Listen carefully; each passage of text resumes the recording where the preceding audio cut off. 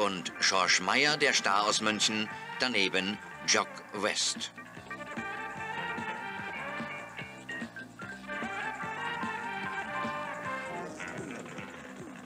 Dann ging es auf die Ehrenrunde. Der fünffache Weltmeister und damit erfolgreichste Autorennfahrer aller Zeiten, Juan Manuel Fangio, wurde natürlich besonders gefeiert.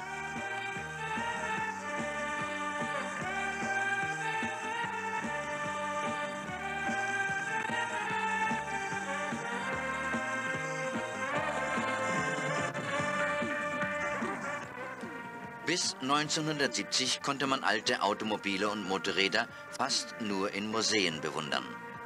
Dann breitete sich eine Oldtimer-Welle von England bis zu uns nach Deutschland und natürlich Österreich aus. Überall wurden Oldtimer-Clubs und Vereine gegründet. Aus Kellern, Scheunen und sonstigen Schuppen und Winkeln wurden die fast vergessenen Fahrzeuge hervorgezogen.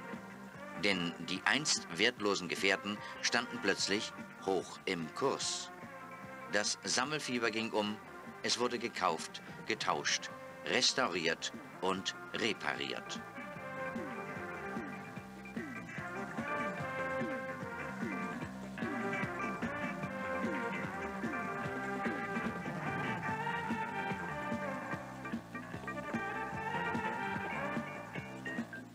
Veteranenrallies folgten, Treffen und Ausstellungen. Auch bei den Weltmeisterschaftsläufen sah man im Beiprogramm die Oldies um die Kurven knattern. Auf dem Nürburgring, in Hockenheim und 1974 auf dem Salzburgring gaben sich die inzwischen kostbaren Fahrzeuge ein Stelldich ein.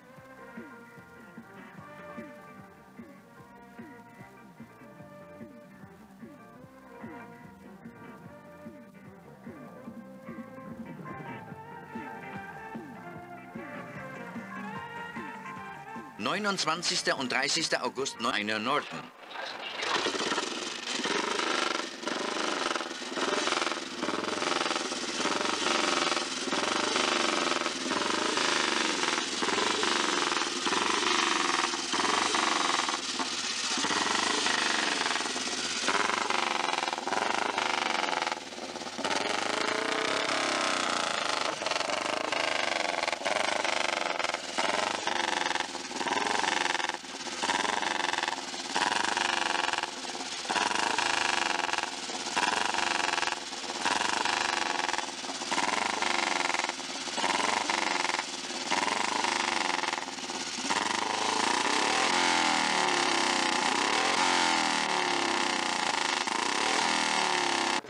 Seidel mit seiner 500er Norton Manx.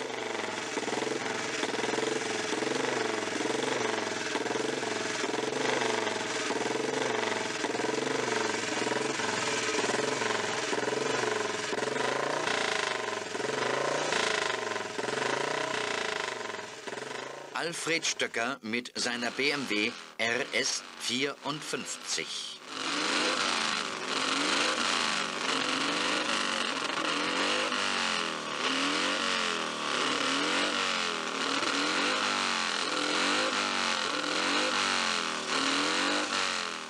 Nummer 5, Rupert Bauer mit seiner BMW RS 500.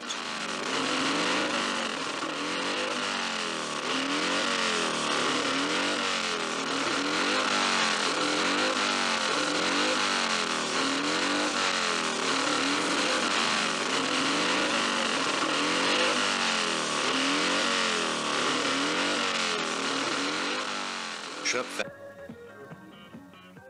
München, BMW-Museum. Oft Treffpunkt und Startplatz vieler Veteranenrallyes, wie hier 1979.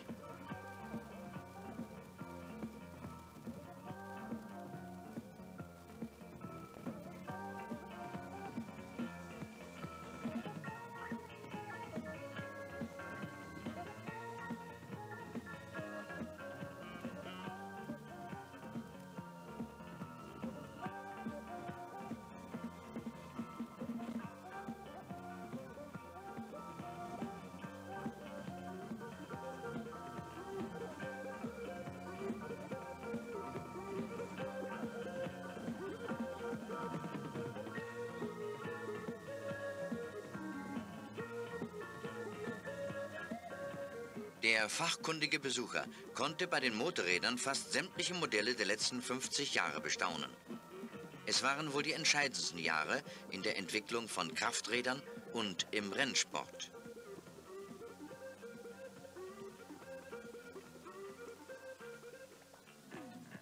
Viel beachtet wurden aber auch die legendären Wehrmachtsgespanne.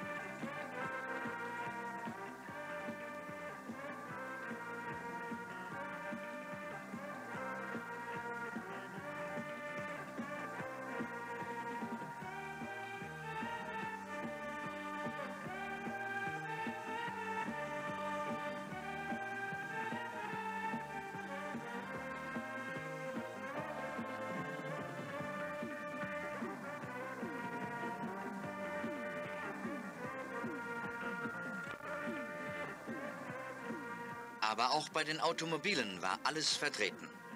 Vom BMW Dixie, Baujahr 1929, über den unvergessenen 328er bis hin zum Typ 502 mit dem berühmten 8-Zylinder V-Motor.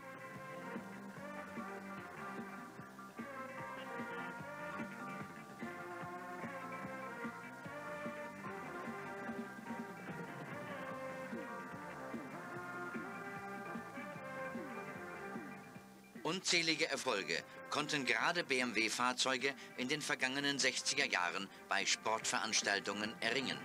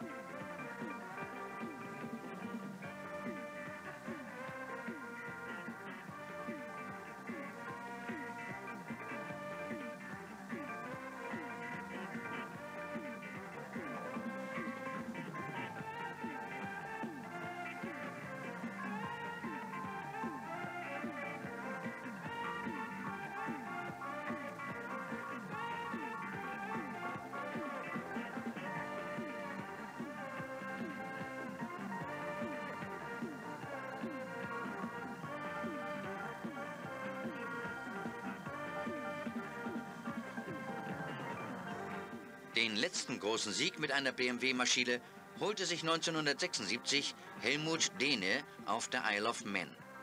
Zusammen mit Hans-Otto Butenhuth gewann er die Klasse bis 1000 Kubikzentimeter.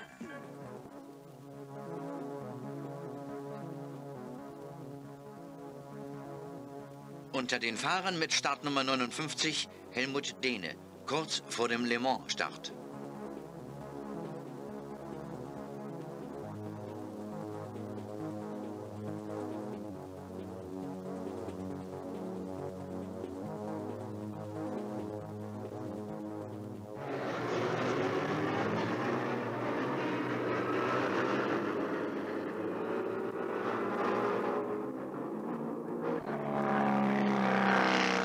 Fans aus aller Welt bewunderten Helmut Dehne und seine BMW immer wieder. Hier einige Aufnahmen aus dem Jahr 1975.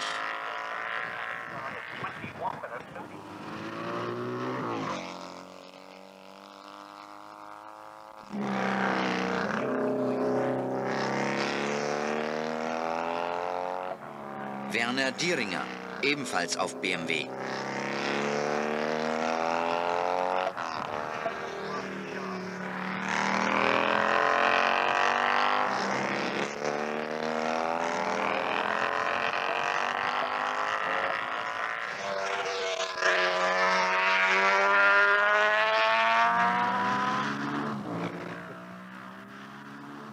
Wieder 1976.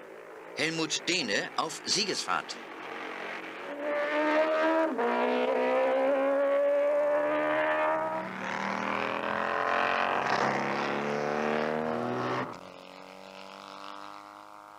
Nach dem Fahrerwechsel Hans-Otte Butenut auf der BMW von Helmut Dehne.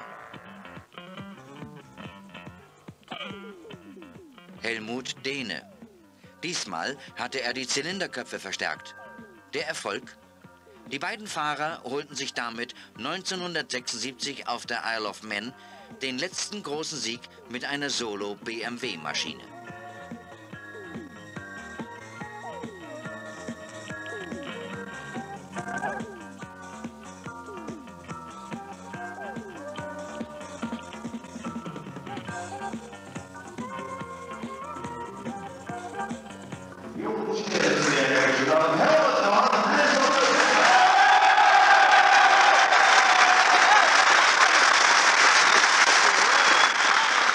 Erinnern wir uns. 1907 wurde die erste Tourist Trophy, kurz TT genannt, gestartet. Erst 1939, also 32 Jahre später, gewann ein Ausländer dieses schwere Rennen. George Meyer mit seiner 500er BMW. Weitere 37 Jahre später, 1976, holten sich Helmut Dehne und Hans-Otto Butenut auf der Isle of Man den Sieg.